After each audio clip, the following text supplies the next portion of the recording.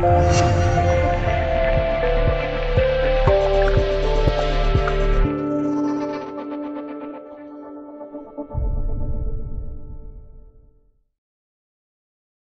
听到癌症，相信几乎所有的人都会觉得自己得了不治之症，没救了。有的甚至直接放弃治疗了。其实这样并不对。世界卫生组织很早就表示了，癌症治疗效果如何是和癌症的类型有很大的关系的，并不是所有癌症都会引起死亡的。有的经正规治疗是完全可以治愈的。下面就是关于各类癌症的预后的介绍，有兴趣的朋友可以看看。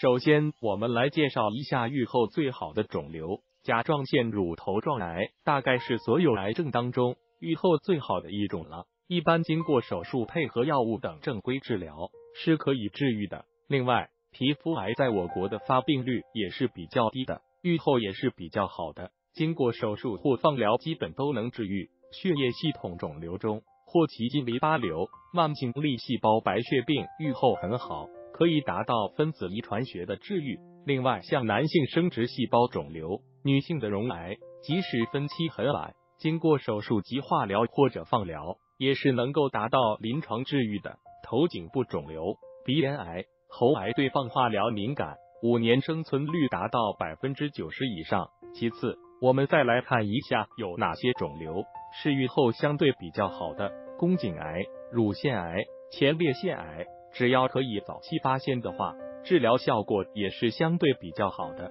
而如果想要做到早期发现，最好的方法就是定期体检，尤其是宫颈癌，近年来的早期筛出率是很高的。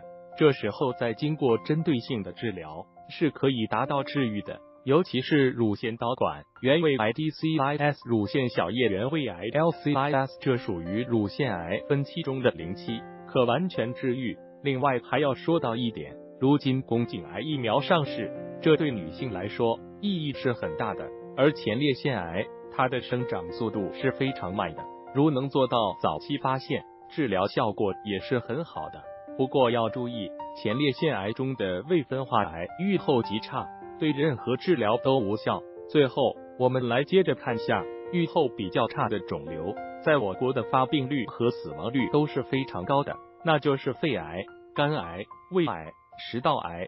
所以，像有家族史者、年龄超过四十岁者、有相关原始疾病者，比如肺炎、胃炎、肝炎、乙肝等疾病，长期抽烟喝酒等，这些都是癌症的高发人群，一定要定期进行筛查，以便于发现早期的病变，从而争取的最佳的治疗时机和治疗效果。一般情况下，早期的癌症治疗效果。